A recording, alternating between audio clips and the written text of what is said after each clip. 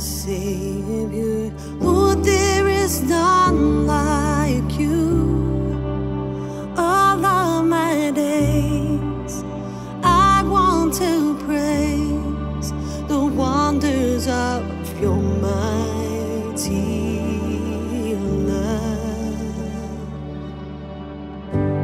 My comfort, my shelter.